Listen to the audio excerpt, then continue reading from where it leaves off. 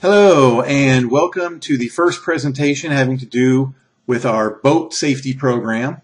Uh, this first one is going to do with just sort of general maintenance and some general background information that will be useful throughout the whole uh, program.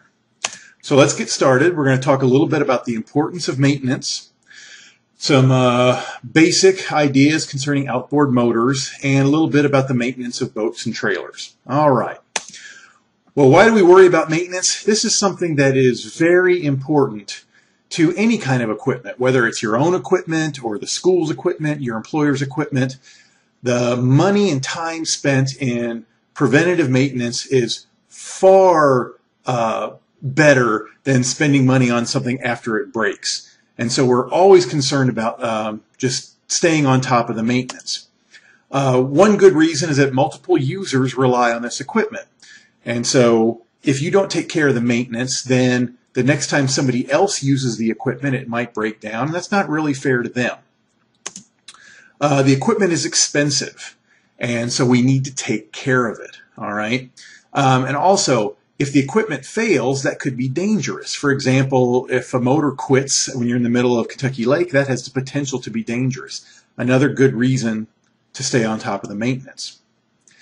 And finally, um, outboard motors and other small uh, motors are unique.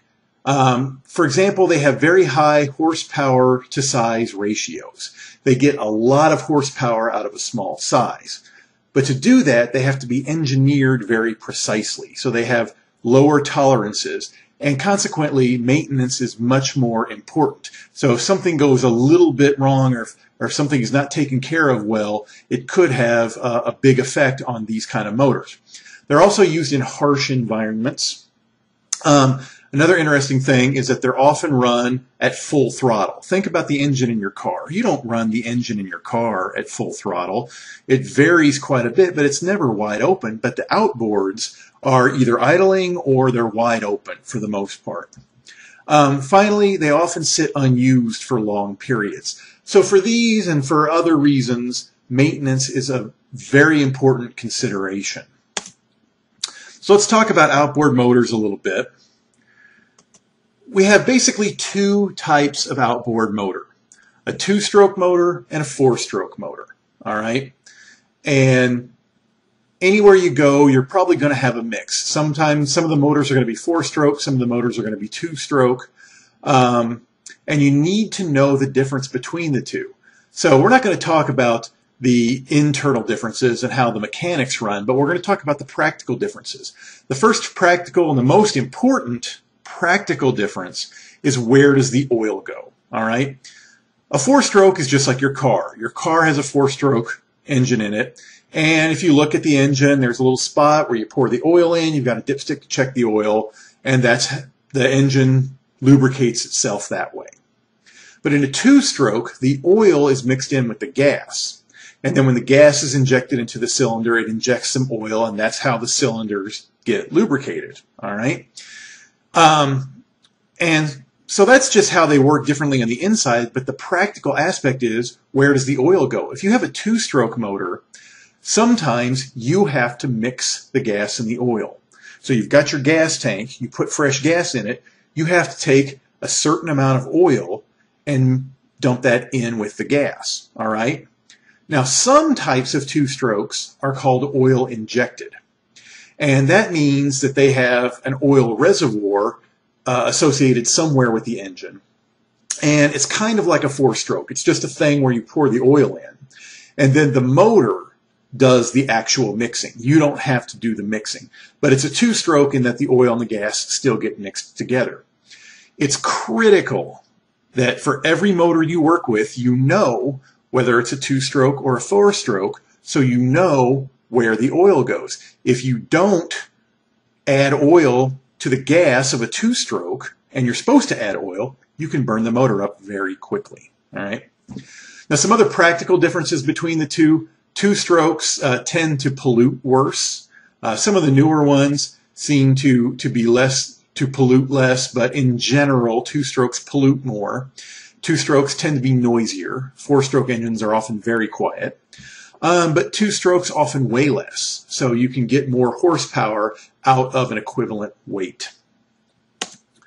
So let's talk about oil a little bit. Uh, when you're talking about an internal combustion motor, oil is essential. If you don't lubricate the inside of the engine, you'll burn it up very quickly. This is true for any engine. So it's critical that you pay attention to oil. This is something that we worry about every time we use the boat. Again, in a two-stroke, you either have to add the oil immediately when you put fresh gas in, or you add the oil to a, a reservoir or a tank, and the motor mixes it itself. Um, if you have to mix the gas with the oil Usually the ratio is 50 to 1.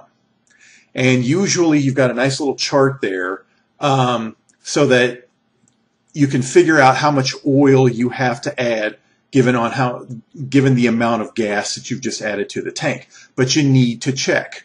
There are some outboard motors where the gas to oil ratio is 100 to 1. Um, but if you talk about some chainsaws, some chainsaws, their gas to oil ratio is 40 to 1. This is critical for you to know uh, before you use a two-stroke motor. Now, if you've got a four-stroke motor, it's just like your car, okay? Um, whereas the two-stroke uses a special oil that's formulated for two-stroke engines. The four-stroke will use basically the same oil as your car will use. And you check the oil using a dipstick. But again, you need to check that oil level every time you use the motor.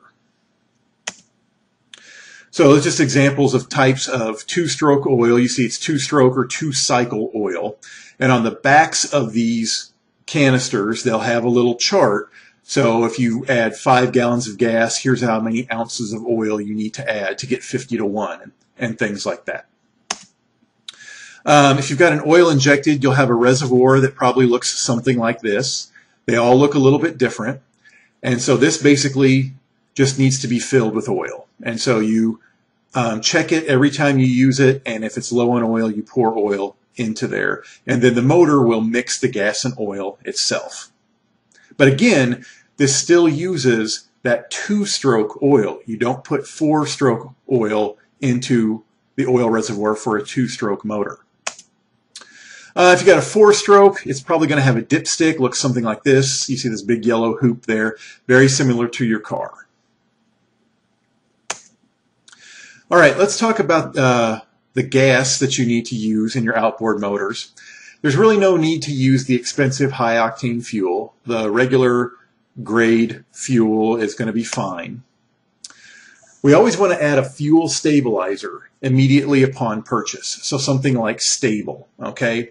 Fuel stabilizers, uh, I can't say I know everything they do, but it has something to do with whether or not the fuel oxidizes.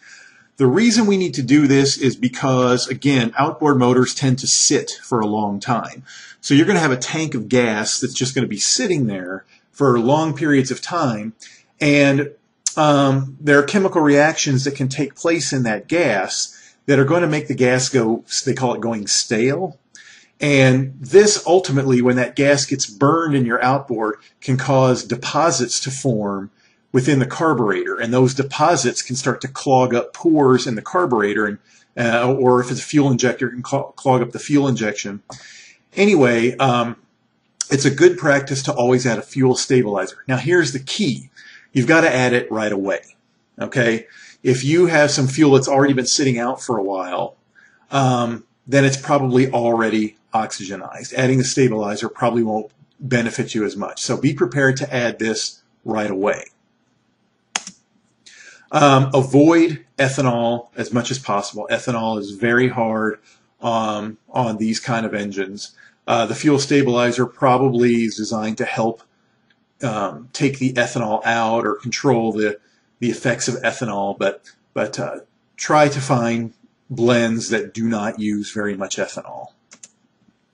And this is an example. Sta-Bil is the most common. They make a marine formulation, which is really just the same as the regular formulation, but there are other kinds too. Okay, so when we're talking about uh, gas and oil, we also need to talk about cooling an outboard motor.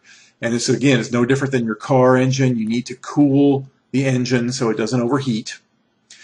Um, we have the advantage with outboards is that we usually have a large body of water that, that can be used as a heat sink. So we don't have to have a radiator and coolant and a fan like you do in your car. You can just suck the lake water up, um, transfer heat to the lake water, and then shoot it right back into the lake. Uh, your, your outboard should have a telltale, which is a stream of water that shoots out the back of the engine very high up. And that ensures that water is circulating. Um, if there's no water coming out of the telltale, it's possible that you're still getting water circulating and cooling off the engine, but you don't want to take that chance. If you don't see water coming out there, you need to shut the engine off and figure out what's going on because you don't want to overheat the engine. You do not want to run the motor for any length of time out of the water. The water pump that's inside most of these motors has a rubber impeller. If that spins and there's no water, that rubber heats up very quickly and can shred very quickly, and then the water pump becomes very ineffective. So, um, never run an outboard motor when it's out of water because you'll burn up the water pump. So this is a picture of the inlets. They're going to be very similar on most uh, outboards. And so this is where the water gets sucked in. If you are having trouble and you're not getting water at the telltale, the first thing to do is to check to see if these inlets get clogged up. We often work in shallow water or in water with a lot of vegetation. Uh, vegetation very commonly will clog up these inlets, especially if you're driving around slowly like you would with an electrofisher. So the first thing to do would be raise the motor, make sure these inlets are not clogged up. Also realize that if you run uh, in the mud and in shallow water, you're going to be kicking up mud and you're going to be sucking sand and mud and things into these inlets, which could clog them up, and that's not good for the motor. This is an example of the telltale. It's just going to be a stream of water shooting out the, the back, the top of the motor. If you have water at the telltale, you should have water everywhere else, and you should be properly cooling your outboard. Now, if you have to run the motor out of the lake, for example, if you're winterizing it or if you're trying to start it up to see if it'll run, what you can do is use these ear muffs, and you can see them down here covering the intakes. And these are just attached to a garden hose. And this allows you to provide water to the intakes so that you can run the motor. And when you start the motor up, you should get water coming out of the telltale at top. And, and this will allow you to run the motor and do any maintenance or tests or anything without having to go back it down into a lake.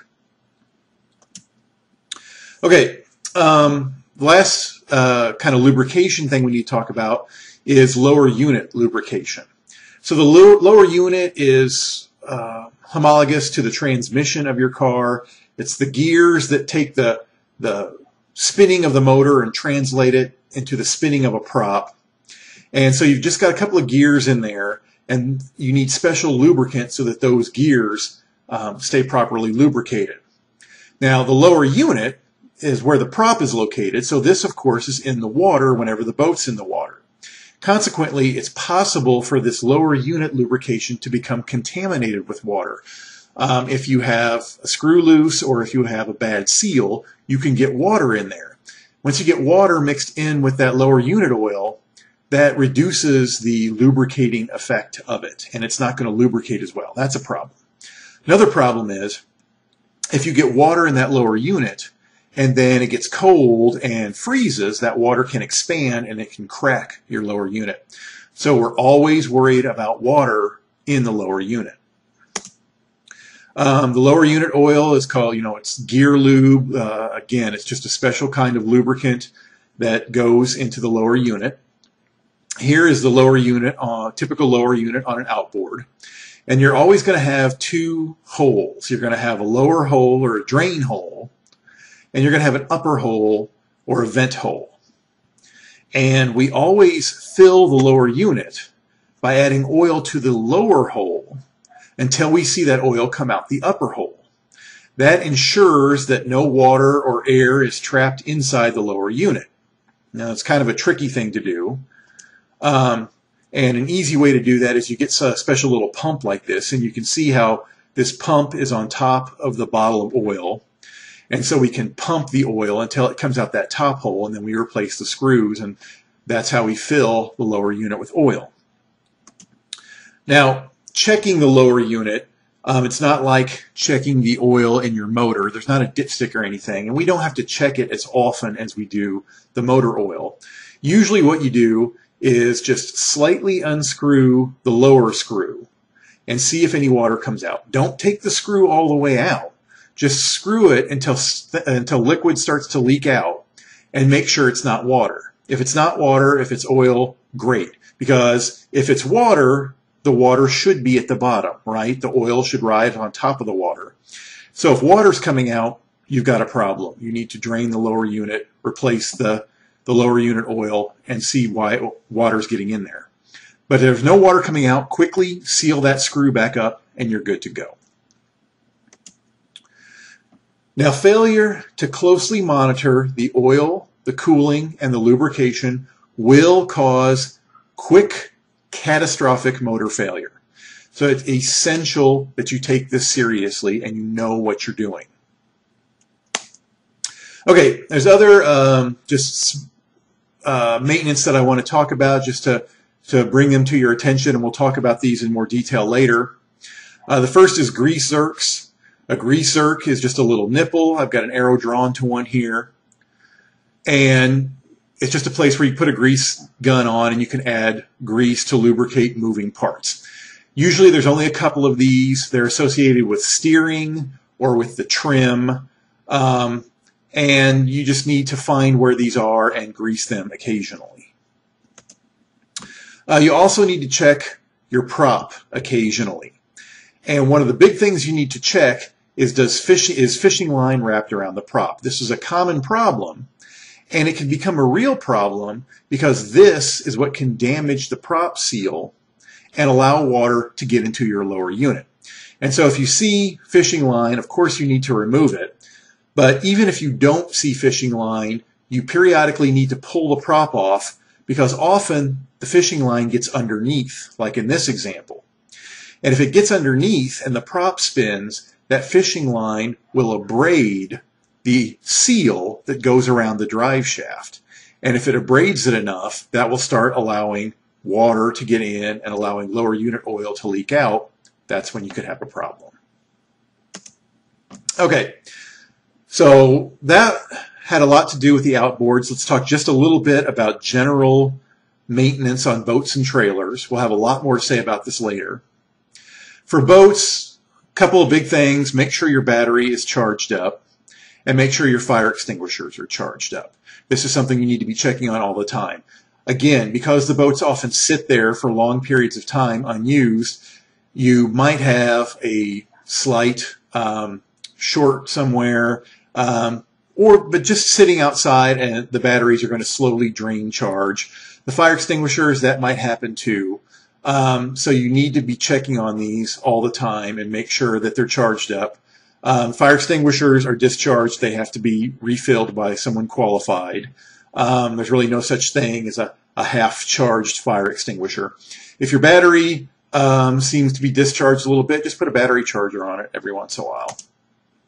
For the trailers, you need to keep checking the lights. Um, you don't want to go down the road unless you've got good trailer lights. It's just good safety practice.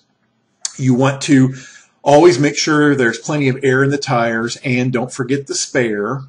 Um, again, if the boat is sitting there for a long time, you don't want it to be sitting on half-filled tires. That's hard on the tires. And if you're going down the road, you definitely want the tires to be full, uh, filled up to the proper pressure. And finally, you also want to make sure that there's grease in the trailer hubs. So if you look on the trailer hubs, you should see grease zerks there too.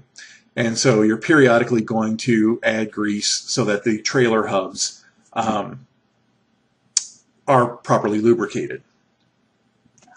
Okay, so that's just an intro into general boat maintenance. I can't cover the specifics for every motor, every boat, every trailer. Okay, they're all a little bit different. And so it's up to you to know your equipment. You have to be comfortable with this. And if you're not comfortable, you have to ask because you do not want to tear up the equipment just because um, you didn't put oil in a two-stroke engine, for example. So you must know what kind of equipment and what needs to be done for all your equipment.